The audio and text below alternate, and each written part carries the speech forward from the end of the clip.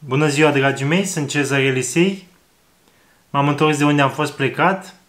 Am strâns uh, fel de fel de informații pentru dumneavoastră, dar o informație foarte prețioasă despre care aș vrea să discut astăzi este sarea. Consumul de sare după ce ieșiți din perioada de post este, după cum știți, strict interzis, pentru că sodiul uh, adună apă, strânge apa în organism și uh, puteți ajunge imediat după ce ați ieșit din post și consumați sare, puteți ajunge la edeme foarte uh, importante, foarte mari, ceea ce uh, va fi atât inestetic cât și greu de suportat. Uh, nu vă veți simți deloc bine și veți simți că și acumulați kilograme. După cum știți, uh, toată lumea recomandă, rușii recomandă, americanii recomandă, nemții recomandă ca uh, după ieșirea din post să nu se consume sodiu deloc. Acest compus chimic are capacitatea aceasta de a reține apa în organism, uh, motiv pentru care principalul compus cu sodiu din uh, alimentația noastră este sarea, adică formula chimică sodiu-clor, natriu-clor.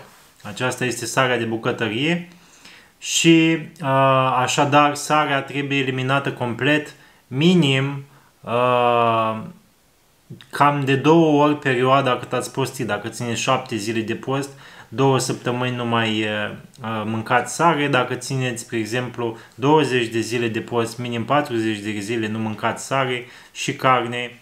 Uh, mă rog, și celelalte care nu le mâncați, dar sarea despre ea discutăm.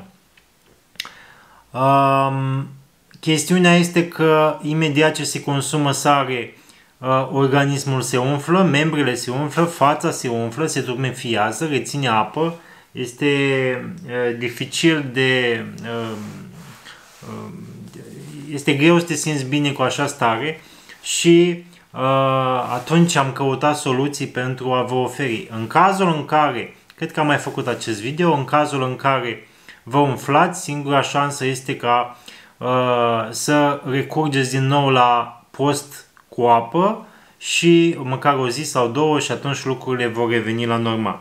Dar nu acesta este subiectul de astăzi. Subiectul de astăzi este că am găsit o soluție pentru dumneavoastră, pentru cei care uh, aveți nevoie să mâncați totuși sau simțiți nevoia numai decât de sare după masă, să aibă mâncarea gust, și atunci am găsit această soluție care se numește sarea dietetică. Um, da, sarea dietetică se numește sare fără sodiu, deci este o sare fără uh, natriu clor fără natriu, da? Uh, fără sodiu și conține clorură de potasiu, clorură de amoniu, clorură de calciu, citrat de magneziu, cit- acid citric și amidon de porumb.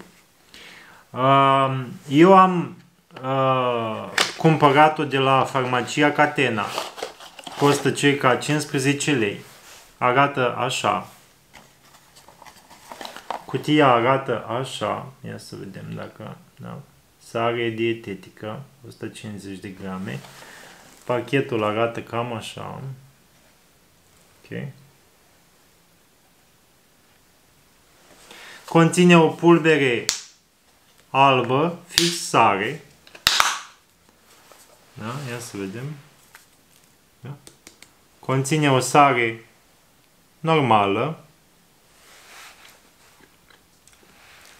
și are un gust aproape um, ca și sarea obișnuită, poate un pic mai pronunțat, mai um, un pic iute, un pic uh, prea sărată, dar își face treaba foarte bine. Uh, după perioada de post puteți să o consumați.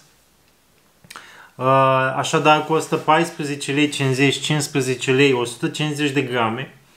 Părerea mea că ați putea înlocui sarea normală uh, cu această sare dietetică pentru că, după cum țineți minte, discuțiile au fost multe și nenumărate și au fost provocate uh, în sensul cel bun de doctorul Pavel Chirilă în momentul în care statul român a cerut uh, să se introducă iodul în,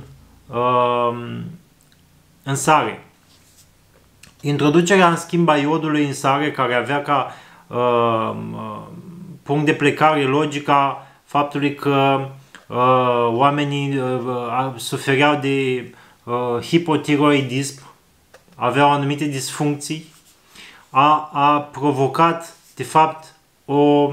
Um, a inversat problema și a provocat alte afecțiuni tiroidiene și nici pe departe nu a dus la rezultatul scontat. Deci cazurile care erau acuzate erau infime și apoi cazurile uh, de probleme din cauza concentrației prea mari de iod din, din, uh, din uh, sare uh, face ca uh, situațiile medicale să fie mult mai mari după introducerea iodului. La fel a fost și cu fierul în pâine, că se plângeau unii că suntem anemici și ar fi vrut să introducă fier în pâine, ceea ce ducea la o alt, alt intoxicație cu alte materiale, alte substanțe chimice. Mă rog, dar respectiva chestiune s-a oprit. De data aceasta, consumul exagerat de iod din sarea uh, iodată de acum pe care o avem în comerț nu ne face bine, trebuie uh, controlat. Din punctul meu de vedere și a altora, evident, este mai bine să consumăm sare de murături, da? sarea grunjoasă, care nu are adaos de iod, dar uh, eventual pe care să o măcinăm sau să o consumăm ca atare. Probabil cei care vă place să gătiți știți că sarea uh, grunjoasă este mult mai ușor de um, um, echilibrat, uh, mult mai ușor de adăugat și uh, știi exact cât adaugi. Uh, poți să faci uh, gustul bun uh, din puțin așa cât adaugi uh, de măsurat să zic, decât sarea fină. Sarea fină este mai, mai greu de uh, măsurat, de cântărit așa cu, cu mâna, cu simțurile. Dar, mă rog, una peste alta, vă recomand această sare. Sarea dietetică uh, pare a fi ceea ce trebuie, nu reține uh, apă în organism, nu aduce, nu are aport de iod, nu are nimic altceva decât uh, uh, anumite substanțe, ia să le vedem, are potasiu, calciu și magneziu, are exact ceea ce trebuie pentru buna circulație uh, a sângelui, pentru uh, facilitarea Uh, proceselor de oxidare în organism, are electroliții necesari, potasiu și magneziu și uh, chiar potasiu are 1451 de mg la linguriță, este foarte bine.